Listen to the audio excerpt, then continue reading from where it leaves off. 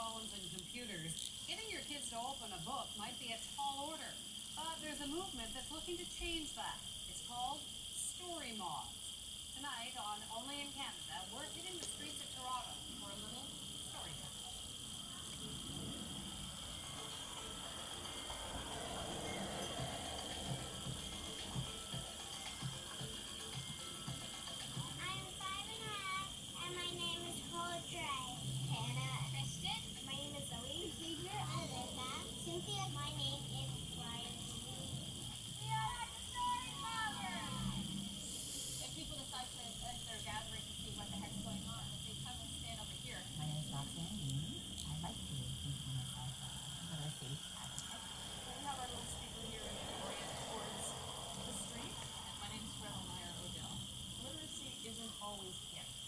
hard to really get traction.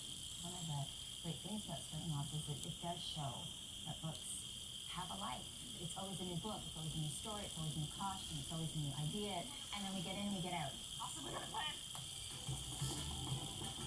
But, uh, the location. Okay. What do we want? When do we want it? Today we're doing Boy Soup. It's uh, a story about a giant white whale. Boys into the pot! I'm building the fever! I'm pulling it on high! And then with a thunderous slap through his nose, It's a funny story, and I really like the story. Kate said, I read it. I'll gladly explain. The book said quite clearly, of this I am sure. Boy soup is soup made by boys. That's the shit. any seemingly spontaneous eruption of unusual behavior is worth noting, and generally will bring a smile, some joy, make a change in someone's day, particularly when you bring children. and a generous dollop of dandruff shampoo. There's this this element of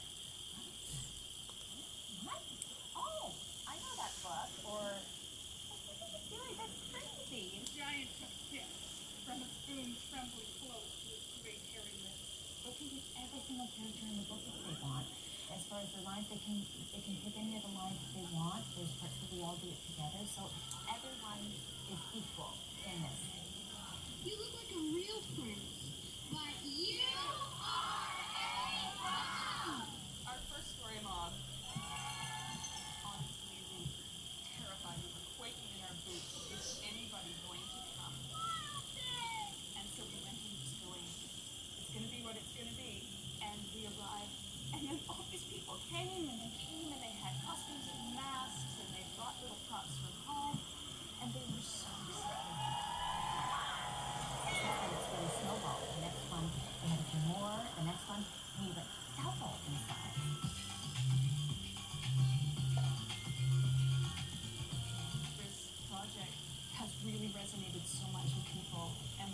great responsibility to really keep it.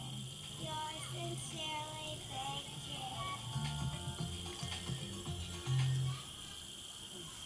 If you have an idea for Only in Canada, just go to our webpage, cbcnews.ca slash Only in Canada. to send us your news. Let's check in now with Claire Martin. She has